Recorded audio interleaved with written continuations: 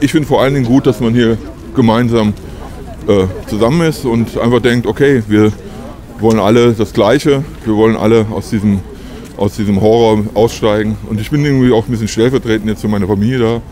Ich habe zwei Söhne, die die ganze Zeit diese Geschichte hier erleben. Und da denke ich mir einfach, mindestens einer muss sagen, irgendwie, das muss doch mal bald vorbei sein. Und, und zumal das auch in anderen Ländern ganz offensichtlich auch anders gehandhabt wird, gerade eben. Also ich, ich kapiere das lange nicht mehr. Und man muss ja fast selber Wissenschaftler inzwischen werden, um das alles noch zu verstehen. Man ist, also ich bin verwirrt und ich glaube, die meisten, die jetzt hier laufen, sind auch verwirrt und das vereint uns wahrscheinlich auch. Ich glaube, das sind so unterschiedliche Motive, aber was uns allen eint, ist irgendwie, wir, wir haben eigentlich gar keine Ahnung mehr, was hier gerade läuft. Ja.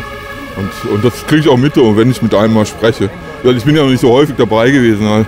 aber wenn ich mit den Leuten rede, dann ist es so wie bei Vorsicht der Baum, dann ist es so, dass äh, eigentlich jeder nicht weiß, was, was ist jetzt noch hier eigentlich los. Ja?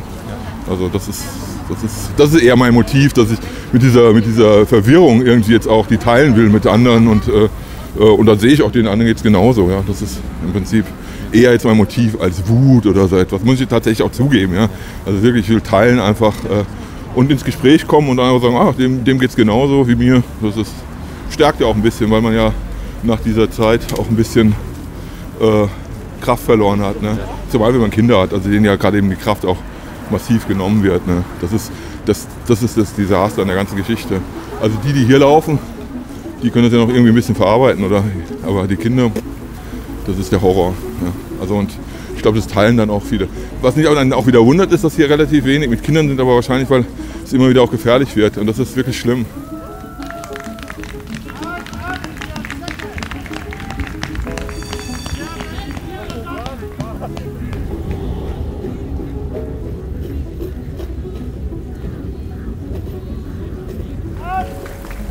Ich bin jetzt nicht hier aus politischen Motiven. Das muss ich, muss ich einfach mal so sagen. Ich bin wirklich hier, weil einfach die Verwirrung inzwischen so.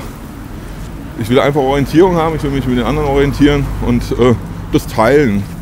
Das muss ich sagen. Das ist mein, mein erstes Motiv. Truth shall make us free.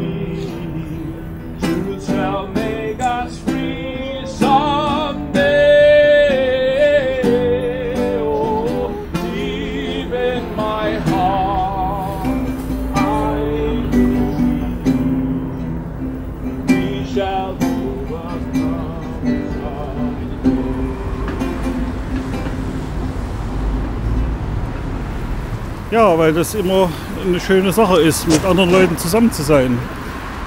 Vor allem auch Gleichgesinnte. Ja. Und man sieht ja, dass es irgendwelchen Leuten nicht gefällt, dass man hier langläuft. Aber ich fand bemerkenswert, dass die Polizei jetzt die Antifa hat abgeschottet. Hast du gesehen? Ja, das ist ja deren Aufgabe, ne? Also ja, es sind auch, äh, äh, so wie ich gesehen habe, einheimische Polizei, die uns jetzt vielleicht sogar beschützen. Ja langsamer machen. Wir sind hier, um Sie vor Übergriffen der Hand aus Gesinnter zu schützen. Wir respektieren jeden, aber würden Sie bitte ein kleines Moment langsamer machen. Wir müssen uns trotzdem an die Verkehrsregeln halten. Diese Impfpflicht ist natürlich die Potenzierung des, des Schlimmen. ja, das wird trotzdem nicht passieren. Niemals. Also da müssen Sie mich fesseln oder irgend sowas. Also das wird nicht kommen, jedenfalls bei mir nicht. Jedenfalls nicht freiwillig, egal wie.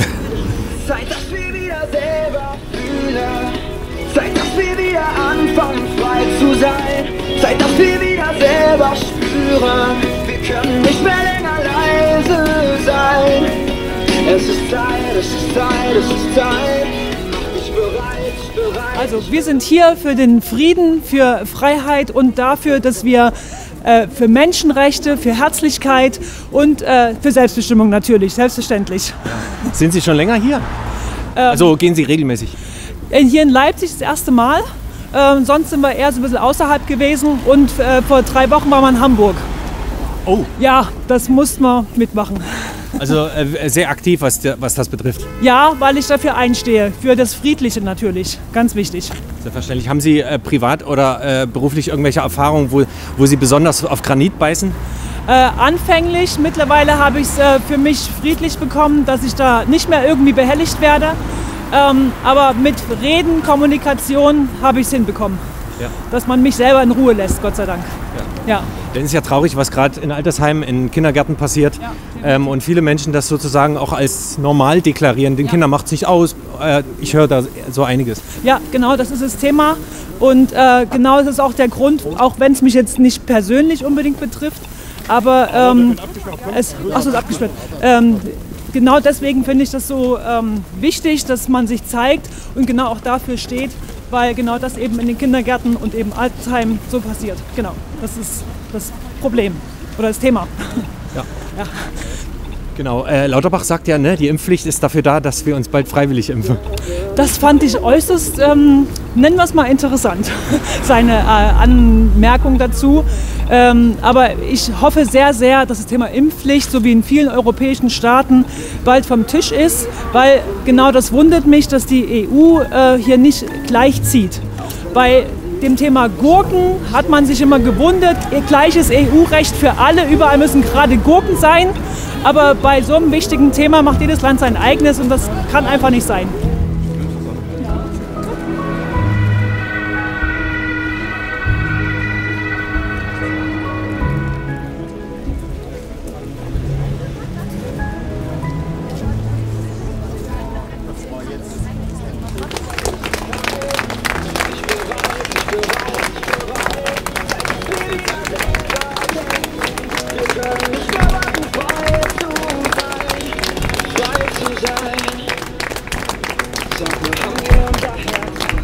Ist ja wichtig in der heutigen Zeit, dass man an der frischen Luft ist, sich bewegt. Was Besseres kann man noch nicht tun fürs Immunsystem.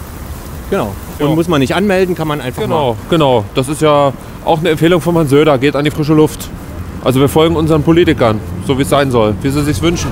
Machen Sie bitte im Eigeninteresse etwas langsamer.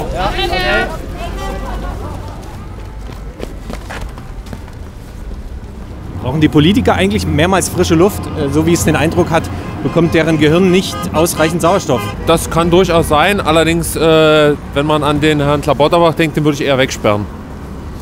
Ja? Weil der ist ja nicht zurechnungsfähig. Oder er ist eine Show. Das kann natürlich auch sein. Weil das, was er macht, wenn jeder einigermaßen klar mitdenkt, ist das ein Aufweckprogramm. Werdet munter. Viele warten darauf, dass endlich mal das Verstehen Sie Spaßschild kommt. Ja, das würde passen. Ne? Also, wenn man es alles ein bisschen entspannt sieht, ist es eigentlich teilweise wirklich extrem amüsant, was unsere Politiker da abliefern oder die, die das da schauspielern.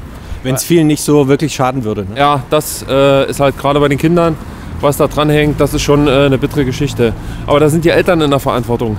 Ja, also die Eltern müssen ihre Kinder schützen und selber erstmal erkennen, was sie ihren Kindern antun. Weil die Verantwortung obliegt den Eltern. Und die machen das mit.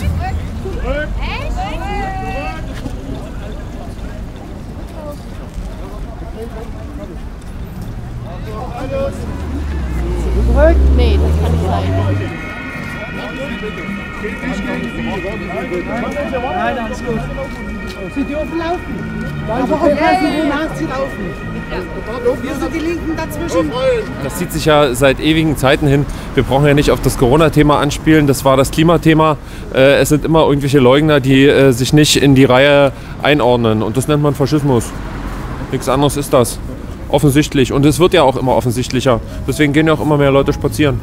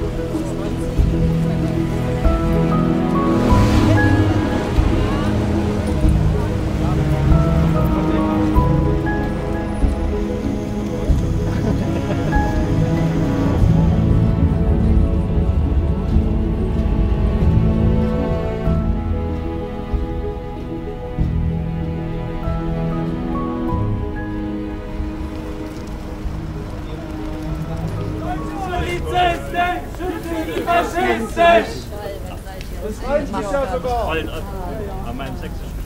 Ja, ich habe in deutscher Geschichte aufgepasst, du Idiot. Ich habe mich gefragt, was, was der Antifa da zu suchen hat, Menschen auszugrenzen, obwohl ja Ausgrenzung der Menschen, auch der Ungeimpften, ja ziemlich faschistisch ist äh, und mich aufgrund dessen mit Pfefferspray angespritzt hat, weil, weil die nicht der Meinung sind, dass sie äh, faschistisch handeln. Wie, was ist das Gefühl, wenn man friedlich auf die Straße geht und dann plötzlich gewaltsam angegriffen wird? Ja, fühlt sich auf jeden Fall nicht gut an, auf jeden Fall. Und ja, jetzt ist es vor allem auch schmerzhaft. Tut mir sehr leid. Was ist, was ist Ihre Botschaft, auf die Straße zu gehen? Was ist eigentlich Ihr Grund? Äh, ja, ich habe meinen genesenen Status verloren, war am Überlegen, mich impfen zu lassen und habe am Freitag erfahren, dass ein Bekannter von mir durch eine Impfung gestorben ist und habe mich aufgrund dessen dagegen entschieden. Und meine Frau, die schon länger etwas dagegen ist, hat mir gesagt, dass hier ein Spaziergang ist und habe mich deswegen dazu entschlossen.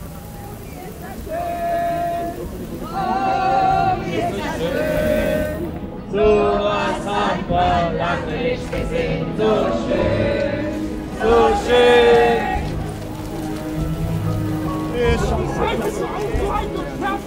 Hatten mal.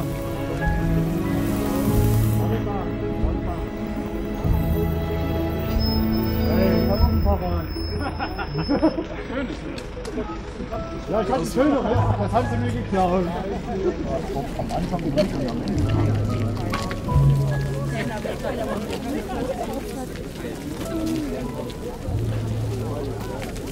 ハハハハ!